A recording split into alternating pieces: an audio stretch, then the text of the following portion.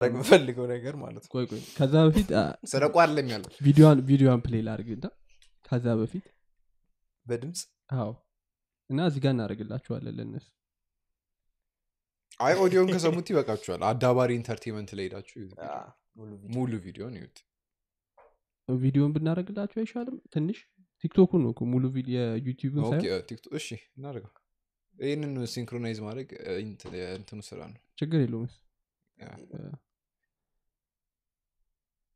አስጀምረዋል እኮ ቆይ እየፈለኩ እኮ።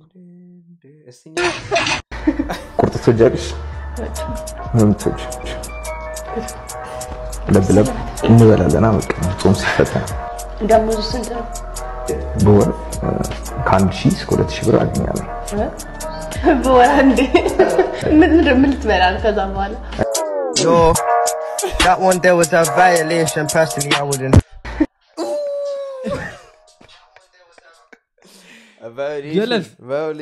ምን- ምን አስበህ ነው? ይሰማል ግን? ይገባል ቪዲዮ ችግር የለውም ላዩ ላይ time frame ኡ ላይ ላዩ ላይ ስለሚቀመጥ sync ማድረግ yeah። ያስፈልጋል ምን አስበህ ነው? ምን አስበህ ነው? አንድ ሺህ እና ሁለት ሺህ ነው ደሞዜ ብለህ ከዛ ቁርጥ ጋብዝሽ ክቱ ቁርጥ ይመችሻል አንተ በዚሁ አጋጣሚ የዚህን ቪዲዮ editor በጣም ላደንቀው ፈልጋለሁ ቦታዎች እንደዚህ ቁጭ ቁጭ ቁጭ አደራረጉ።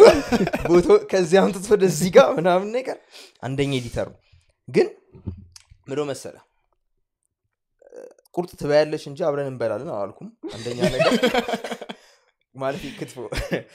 ሁለተኛ ነገር ደግሞ ስለ ማለት ዋናው love ነው ይባላል? እና የሆን ነገር ለማሳካት ስትፈልግ በባሌም በቦሌም ቢሆን ታሳካለህ እሷን ክትፎ ማብላት ነው የምፈልገው የሚገርም ጥሬ ክትፎ ነው ማበላት። ሩብ- ኪሎን ባይዘው ክትፎ ችግር የለም። እንዴ? ኪሎ መሙላት የለም ሩብ ሩብ የለማ ችግሩ እኮ። የኪሎ በኪሎ አለ እንዴ? በኪሎም አይደለም ክትፎ ክትፎ በኪሎ ሲጀመር። ነው? ለዛውም special ክትፎ ነው። አያ የማይበላ ሰው ቅቤ ተነስንሶ ከላይ ምናምን።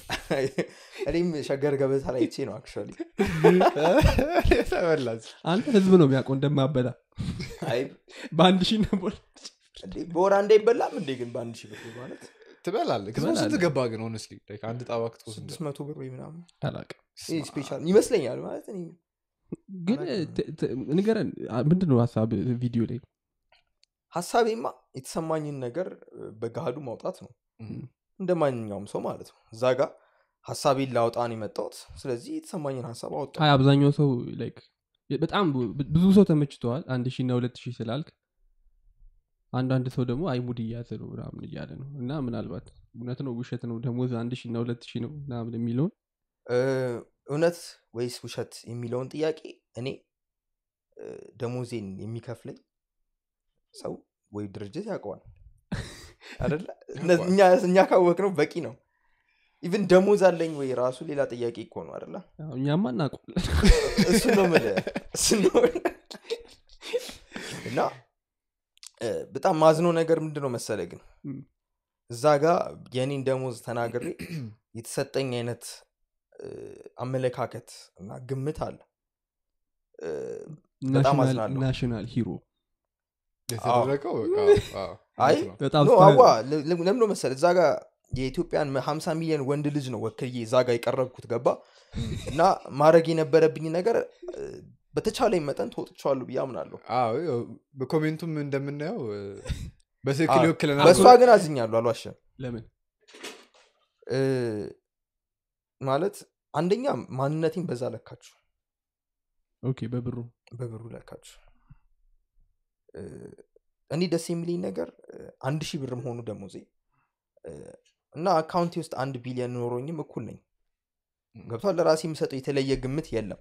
okay ስለዚህ it's okay። ግን ለእሷ ግን ያለኝን አመለካከት ግን ትንሽ smear አድርጎታል። አልዋሸም። እም። ወደፊት ከዚህ ነገር አይታ ተምራ የተሻለ ዜጋ ትሆናለች ብዬ ተስፋ አደርጋለሁ። ግን አንድን ሰው ከሚያገኘው ገቢ ተነስተ መገመት አይከብድ? normal አይደለም? normal።